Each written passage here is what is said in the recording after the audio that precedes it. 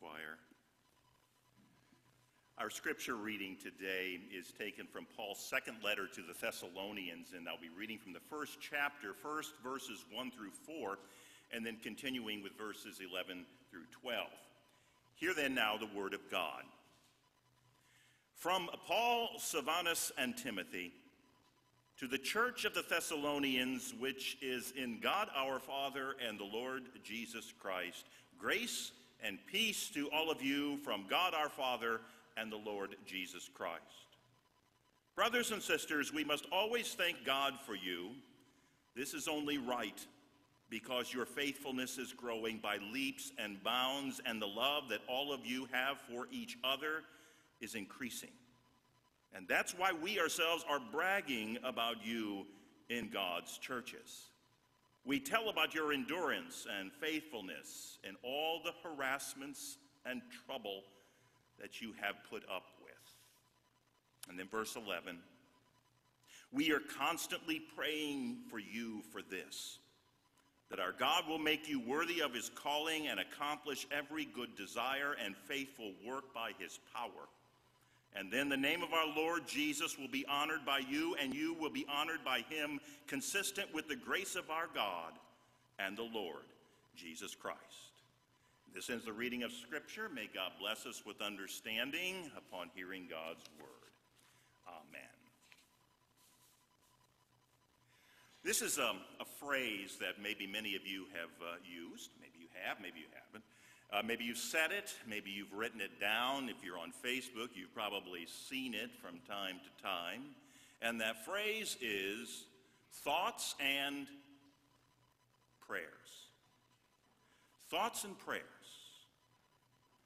It's a phrase that's been out there for quite a while, but it's gotten some recent attention lately. For quite a while, that phrase seemed to be a pretty good combination of words. You know, prayers, which was simply a shorthanded way of saying that, you know, all of us who are of the religious bent are in sympathy with you.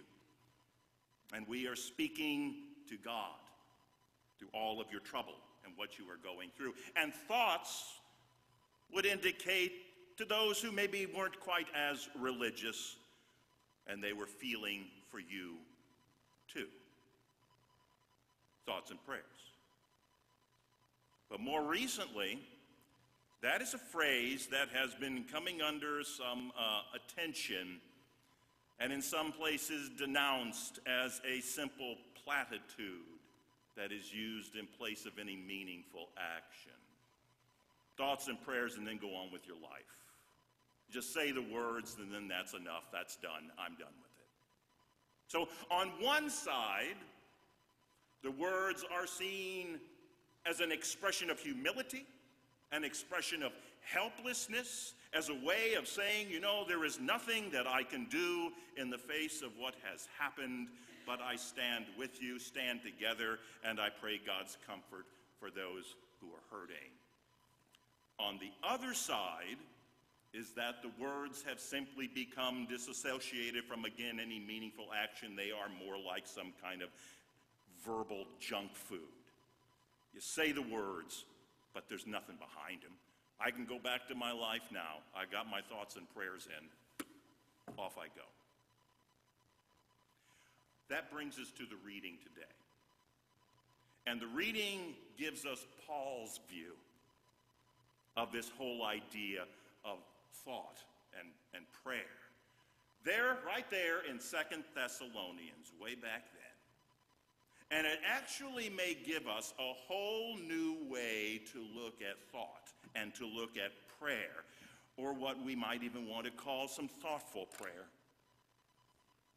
In the, uh, this is an interesting text that we read because it's divided up into two sections. And in the first section of the reading, Paul is making pretty clear to his readers that they are indeed in his thoughts. That he is indeed thinking about those Thessalonian people and what it is that they're going through. But the thing is, is Paul gets very specific.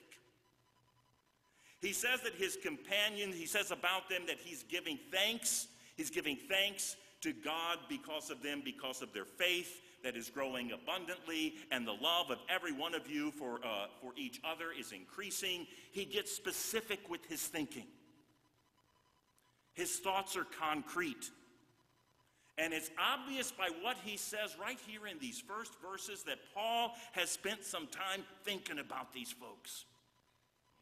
He's thinking about them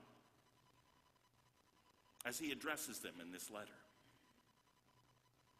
The second part that we get to in, in verse 11, well, but that's where Paul tells them that they're, guess what? They're also in his prayers. But again, it's not some general, I'll say a little prayer for you. It's not that.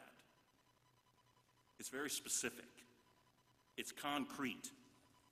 And he says, We always pray for you, asking that our God will make you worthy of his call and will fulfill by his power every good work and resolve and work of faith, so that the name of the Lord Jesus may be glorified in you and you in him.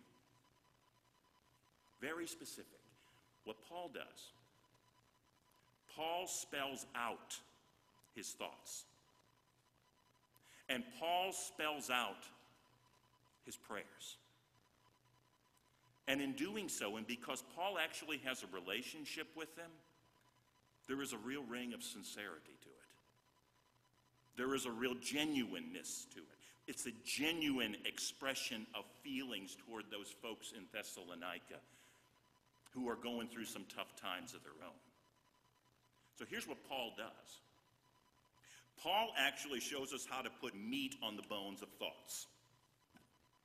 Paul shows us how to put meat on the bones of prayer. That no matter how helpless we may feel when we want to express that togetherness, that solidarity with somebody who's going through maybe some really great loss in their lives. And no matter that we know, we know that words alone will not suffice. Those genuine, those sincere, those relational thoughts those relational prayers, those genuine prayers, they are most certainly not nothing. But here's one thing about what thoughts are. What we find in Scripture is that thoughts are work. They are work. Because what they do when they are genuine and when they are sincere is that they push us to view what's happening not from our own perspective but of the view of those who are being directly affected by what's going on. We change our viewpoint. That's what real thoughts do. Thoughts are work. Sympathy, especially when they lead to us to consider if there's any concrete action that we just might do to support others in what they're going through or to support others in doing that work something that will help. Could the grieving person use a hand right now with the kids or an aging relative for whom they are the caregiver? Could they use that extra hand right now? Is there some task? Is there something that we could take off their plate for just a little bit of time? That's when we put thoughts to work. Thoughts are work. Prayerful thoughts are work. And prayer itself is also work. Because here what, here's what prayer does. If you say that you're, here's a, this is an easy one. If you say your prayers are with someone, pray for them. Actually pray for them. Sometimes we, you know, we, we may say prayers are, you know, I think prayers are with you, and then that's it. We're on with, we're on to schnooks. If you pray, if you say, you know, that, that my prayers are with you, then, then, then, then pray for them. And when we do that, here's what we do. We put ourselves in a place to see beyond our own personal horizons. And we walk in someone else's shoes, at least for a while. Because what genuine prayer does is it deepens our empathy and it puts us in a place, just this is it, where God can change us. Our prayers for others puts us in a place where God can change you and where God can change me. And by changing us, it leads us into taking some action, some action that we can take to make things better. You know, though all good things come from God, praying for others assumes that God may actually allow our prayers to be a means by which God does good for others. We may be the vessel. We, we, we, we know we have a relationship with God. And if we, if we have this relationship with God, then what our prayer is, is an event in that relationship. It may not be a decisive event, it may not change the course of the world.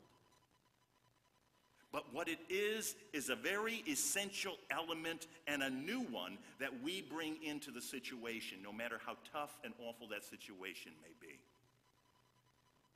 Because it's asking for God's help. And what greater source of help actually is there than God? So, in times of, of tragedy and in times of hurt and in times of struggle and pain, whether it affects many or whether it is, you know, affects just a few, a combination of genuine, sincere thought, prayer, thoughtful prayer will never be the whole answer. But oftentimes, it is all we've got in the moment. Writing about the difficulties of life, author Anne Lamott said this. And I think we can kind of relate. I can relate. It's funny. I always imagined when I was a kid that adults had some kind of inner toolbox full of shiny tools the saw of discernment, the hammer of wisdom, the sandpaper of patience. She said, But when I grew up, I found that life handed you these rusty, bent, old tools of friendships and prayer and conscience and honesty. And they said, Do the best you can with these because they'll have to do. And then she writes, and mostly against all odds, they are enough. God has given us thoughtful prayer. That is work.